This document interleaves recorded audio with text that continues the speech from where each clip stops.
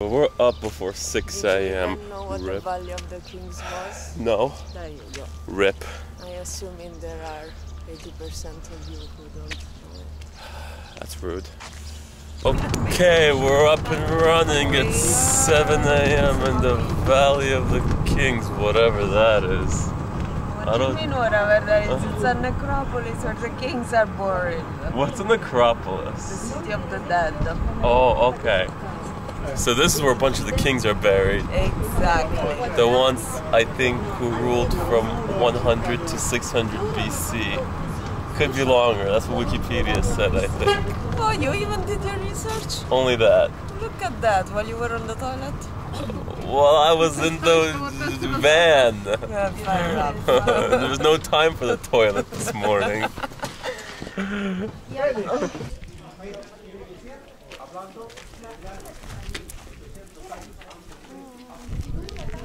It's so cold. It is. Yeah, it's like below 50 degrees Fahrenheit. I'm too sleepy to be cold. Yes. Boom. Nope. The sun is hidden behind the mountains. We don't get any heat from the sun. Whoa, whoa. Whoa, and now the sun came out. Now, now we get heat from the sun. So I'm going to repeat everything Roberta just said. The size of your tomb was based on how and how decorated it was was based on how long you Lasted. lasted. So King Tut, who died at nine years old, had a shitty little tiny tomb Correct. that was barely decorated. Correct. Sucks to suck, King Tut. The Queen of England will have a super decorated tomb. If only she were Egyptian. Case in point, there's King Tut's tomb. Here's the. See, it's Ah, only a couple of rooms. ha trovato questa è la scala. Ho Only a few rooms. He was 18, not 9. Still only had 9 years as king. We enter the tomb. This is the guy who followed Ramses III after his son killed him, who was never a Ramses. That. So Good. this is Ram- one of Ramses III's brother. Cool. Yeah.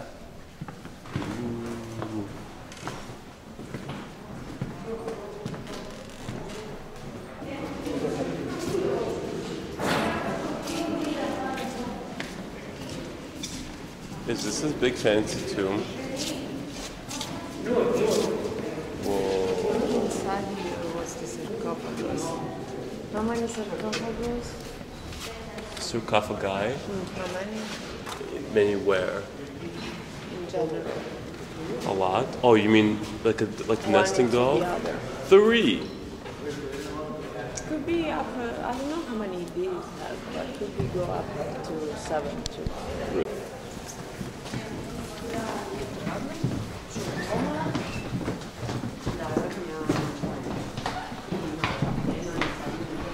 Okay, now we're checking out Ramses the Ninth, whoever that is.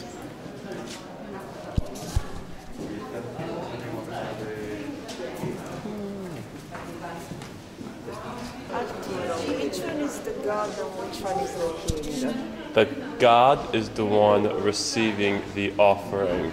So this guy on the right. Yes, And that king is the guy giving the offering. Correct. You can also recognize the king, the god by the crown on his head.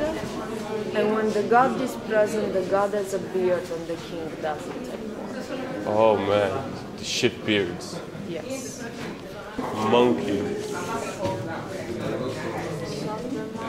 Beetle. Quack. Okay. Okay. Here it is. Final. The finality. And we enter tomb three, tomb of someone who we don't know. Let's We're gonna find out. Yep.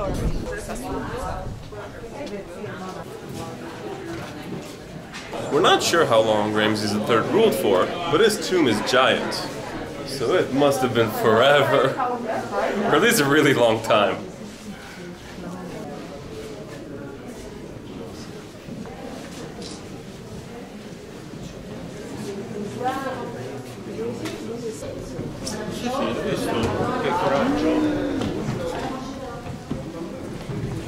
Man, this tomb goes on forever.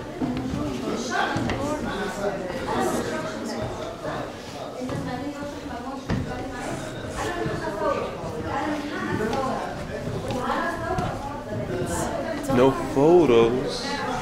Oh, we're breaking some rules over here. Well, There was probably the sarcophagus. Yeah, the burial chamber. oh man, burial chamber.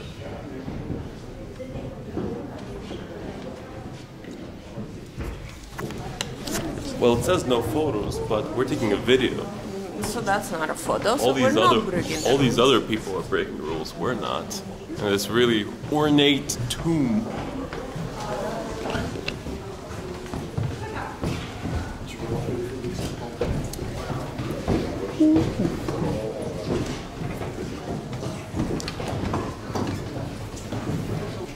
Yeah, the ceiling is pretty dope.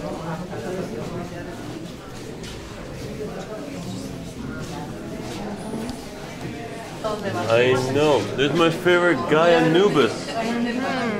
So here's what Anubis would do with the kings. He would, when they died, he would weigh them against a feather.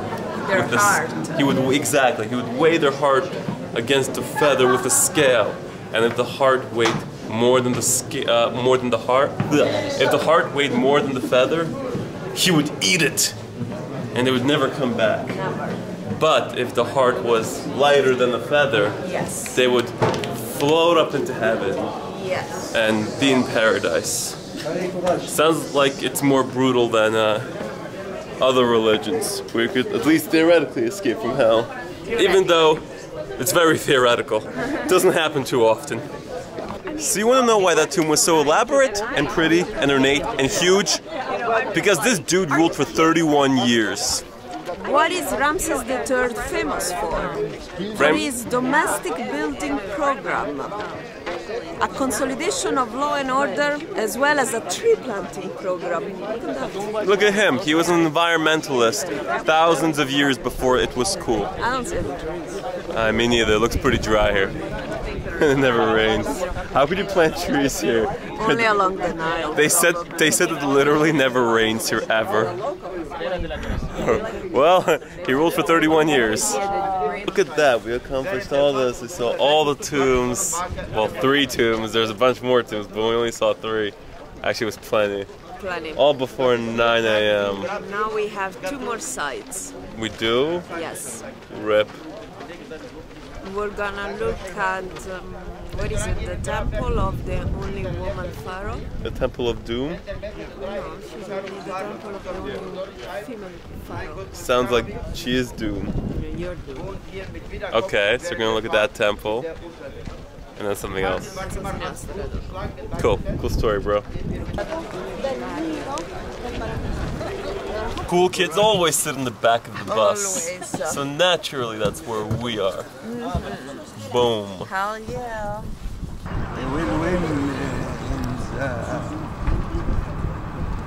So I think we're visiting that, We're visiting that. and it's the temple of the only lady pharaoh who I always forget the name. Ash, Ash, Ha- Hatchem. Hatchem. Hatshepsut. Hatchem Hatshepsut? Hatchem suit. Mortuary temple of Hatshepsut. Man.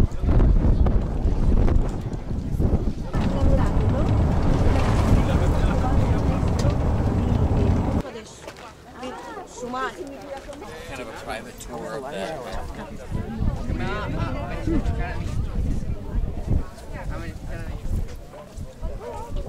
I guess all pharaohs just wanted temples built for themselves, so she had a temple built for her.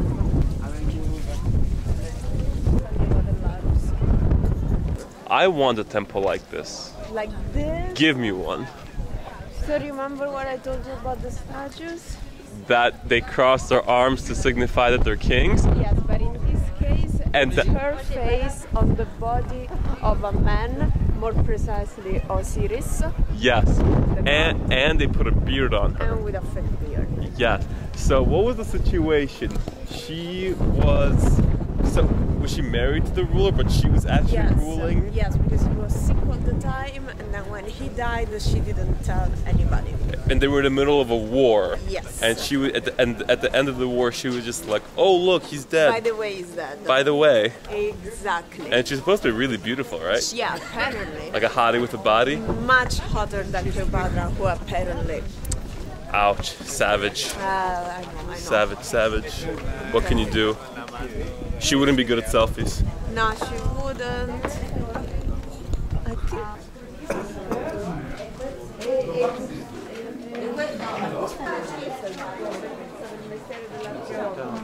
Is this where she put all the people she didn't want around her?